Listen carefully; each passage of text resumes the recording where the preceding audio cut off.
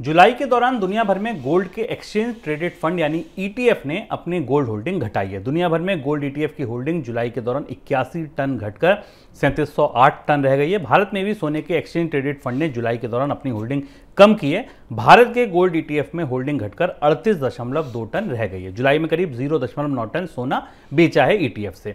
Dollar की मजबूती की वजह से जुलाई के दौरान दुनिया भर में गोल्ड ईटीएफ ने सोने की बिकवाली की है। सर, महँगाई है, मंदी है सब कुछ ऐसा है जो सोने की चमक को बढ़ा सकता है लेकिन इसके बाद भी सोने पे भरोसा जुट क्यों नहीं रहा है? लोग निकल क्यों रहे हैं?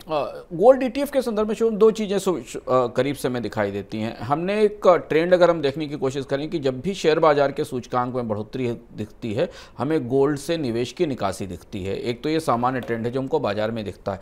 भारत में भी गोल्ड ईटीएफ में कीमतें ऊपर होने के बाद भी जो इनफ्लो था वो करीब चार सौ नब्बे करोड़ रुपए के आसपास था जो कि इसमें बहुत ज़्यादा बढ़ोतरी हमें गोल्ड ईटीएफ के इन्फ्लोमेंट में नहीं दिखाई दी भारत के अंदर।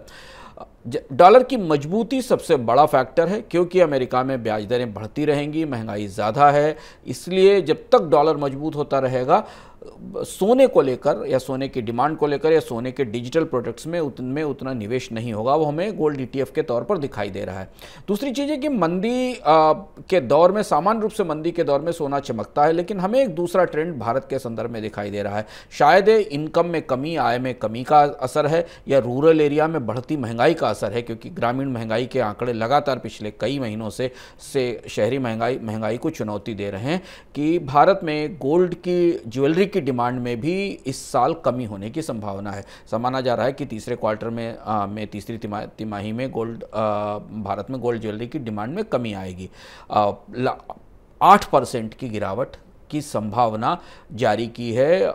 इकरा ने अपनी एक रिपोर्ट में कि भारत में गोल्ड ज्वेलरी की डिमांड में आठ फ़ीसदी की कमी आएगी।